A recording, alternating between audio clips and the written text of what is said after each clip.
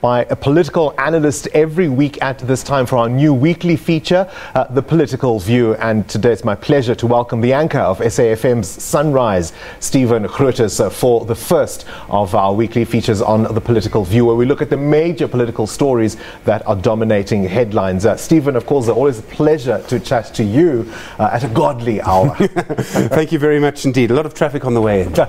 Let's start with the SARS inquiry. I mean, mm. Tom Moyane is obviously a story that that's been dominating mm. headlines. Mm. Uh, we saw at the weekend uh, some uh, information around a ruling, a possible ruling mm. to his mm. objections uh, for his disciplinary inquiry. How is that going to unfold, do you think? Well, I mean, we, we have a couple of weeks until that ruling comes, probably the beginning of August, and, and there are really two inquiries on the go at the same time. One is directly into Tom Moyane himself, and uh, as a sort of disciplinary hearing, if you like, he's on suspension.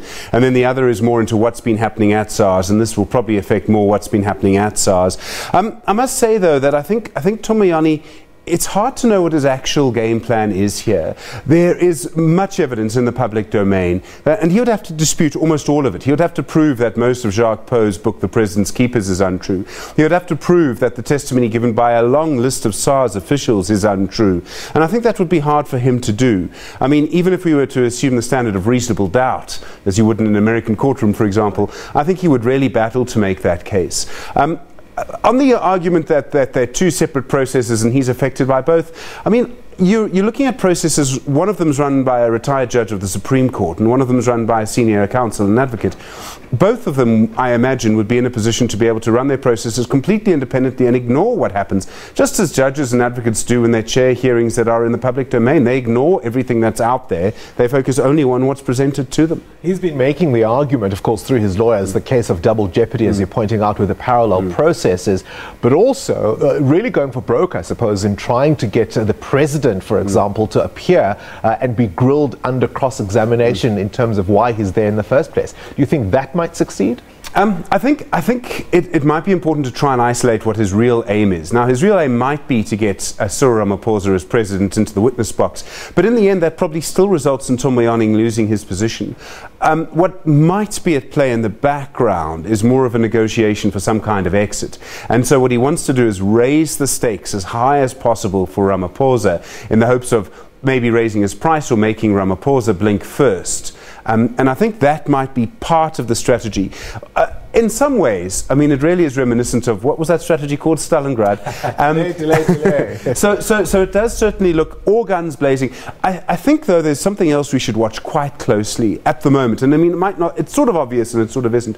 The longer this goes on, the more Tom becomes entangled with the story around the economic freedom fighters because their chairman, Advocate Dali Mpofu, is representing him.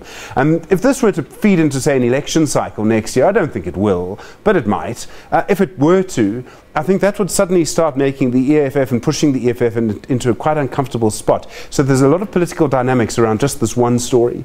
All right, I will leave that one. Let's look at the ANC, of course, uh, concluding its conferences uh, in KZN and uh, Gauteng mm. over this weekend. Let's start uh, with KZN. Uh, Zikalala, it does seem now firmly entrenched mm. there. Uh, some seeing it as a positive move for the president, but, you know, it's a win one, lose one mm. there because now we're hearing from KZN, uh, they're saying, let's rethink whether or not we support the former president in his upcoming trial. Yes, and Sihle Zikalala quite strong on that on SFM Sunrise this morning morning, I thought.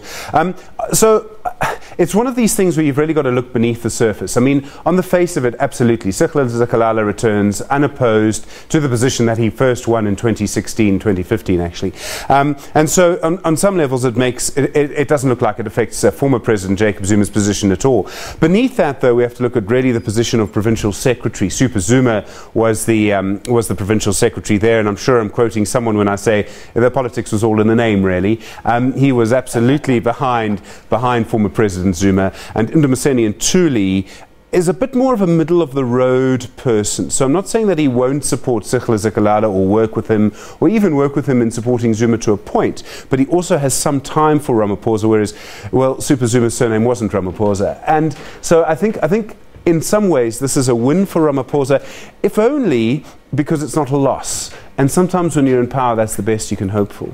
But the political uh, killings, that's an issue that yes. remains on the table. And it's really a toxic mix mm. between people uh, wanting access mm. to patronage mm. networks, criminality. Mm. Of course, we saw mm. uh, two mm. suspects appearing for the murder of uh, Youth League leader Bongani Mkhize. Uh, how's that being managed? So I think there's something very important about what happened uh, this weekend, both in, in KwaZulu-Natal and if I may introduce Gauteng as well.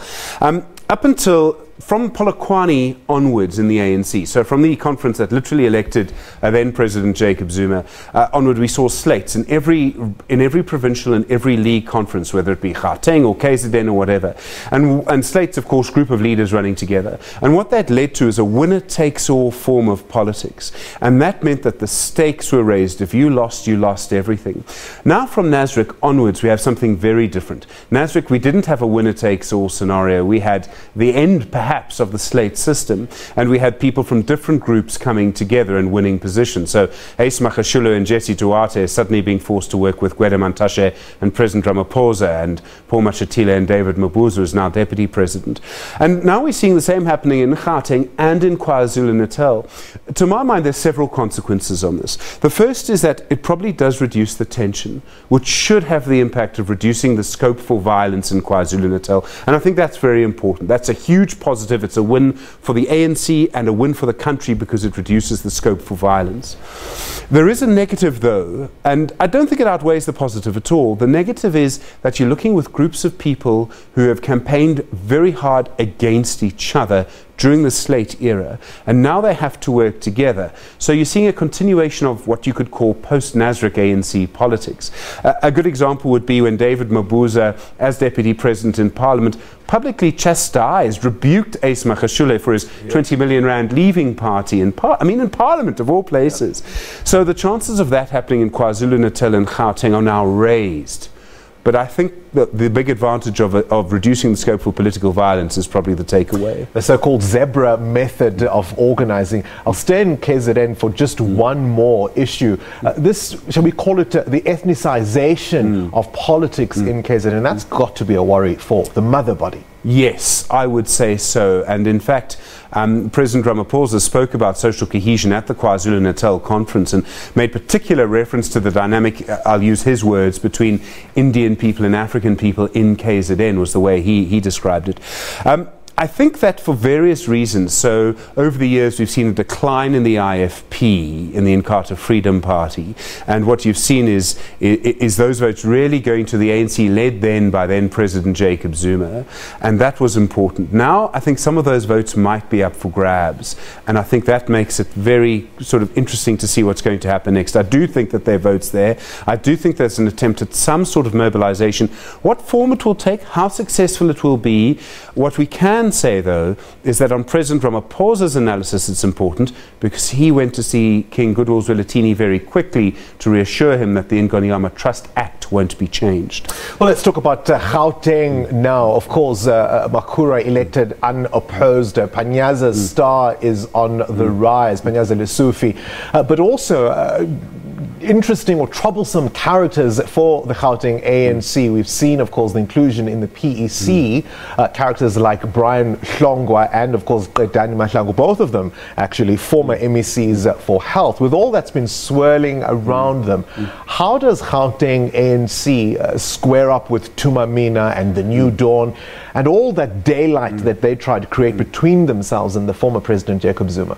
Um, I think, in, uh, I mean, I think while the the election of Brian Hlongwa to the PEC is important, I think Qedani Mahlangu is going to be seen as a smack in the face for the Esidimeni victims, and I think this is a huge test for Premier David Makhura in Gauteng. Just two weeks ago, I conducted an interview with Makhura for the Daily Maverick website, and and in that interview, I asked him about Esidimeni, and he said there will be justice. I promised the families I will walk with them right to the bitter end.